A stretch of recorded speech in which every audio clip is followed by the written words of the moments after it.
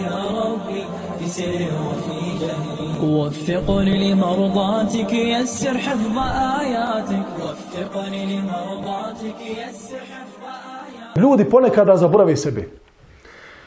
Spomenut je jedan čovjek koji je shvatio i Allah mu je dao znanje.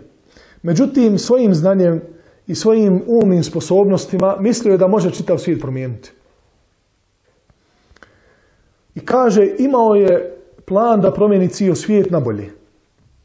I planirao je tako oko deset godina. Vidio je da nešto ne ide.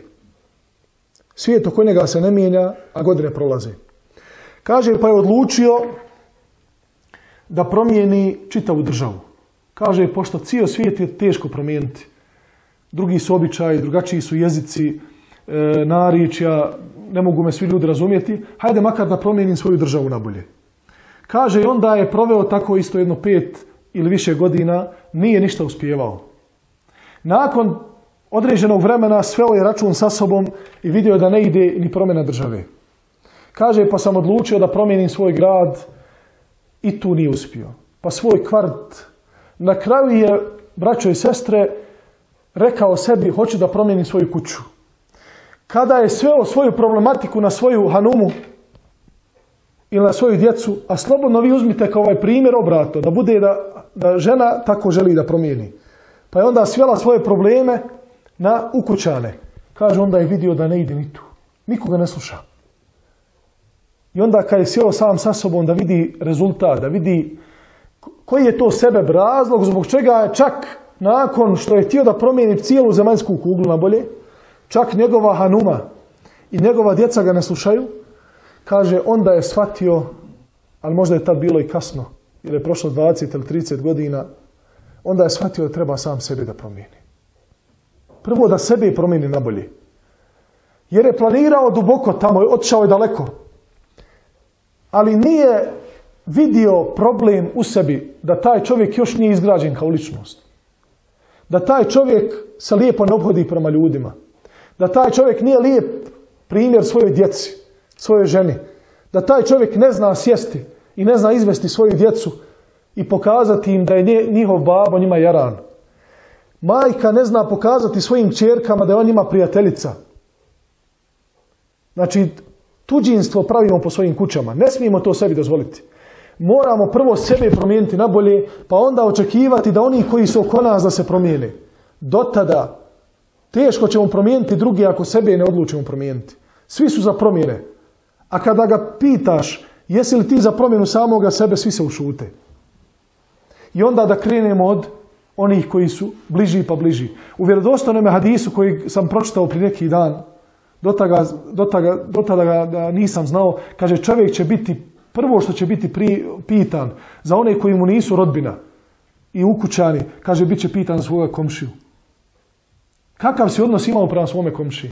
Zbog čega? Zato što on nakon tvoje rodbine i nakon tvoje porodce i tvojih ukućana najbliži tebi. I možda, pogledajte, često imamo loša iskustva sa ljudima koji su bliski nama. Jel do nas ili do njih? Vjerujte da je često do nas. Jer moraš, brate i sestro, da znaš da oni koji su bliski tebi, neminovno je da će doći do nekih problemčića. To je neminovno. Tvoj komšija, pa međa između tebe i njega je jedna ograda. Pa neka će nešto prijeći, neki papirić, pa će ti konta teo namjerom i ga baci. Dijete će nesmotreno koje možda nije, nije pitano, još je malo, prosut smeće ili će baciti nešto u tvoju avliju od igračaka. Nešto će se desiti. Kako ti u tom trenutku da postupiš? Često možda imamo mišljenje dobro o kome? Onima koji su daleko, a mašala, kaže, je fino onaj. Pa gdje si ga vidio? Pa kaže, vidio ga jednom, možda ili na YouTube, ili u džami, onako posalamili se, kaj je sahlakli. Habibi je sa njim sjedio, jesi li pio kahvu? Jesi li imao kakve trgova, trgovačke odnose? Jeste bili na putu? Nisam. Kako znaš kakav je on? Tebi Allah naredio da saburaš s onima koji ste bliski. I čovjek koji želi da sebe izgradi, treba, treba da sebe izgradi na tim osnovama. Lako je pričati i imati lijepo mišljenje onima koji su daleko. Jer su oni ovako daleko i nemaš ti nekakvi dodirni tačaka sa njima. Međutim, pametan musliman i odgojen musliman gleda pozitivno, gleda pozitivno kao što smo rekli u prošlom predavanju, na neke probleme koji su neminovni, koji se dešavaju u porodici, u prijateljstvu, u komšijstvu, u poslovnim nekakvim onaj, e, šta ja znam, poslovima i tako dalje. Znači da insan izgradi kod sebe taj fini, e, korektni odnos prema onima i da ima osnovnu osobinu koja se zove praštanje.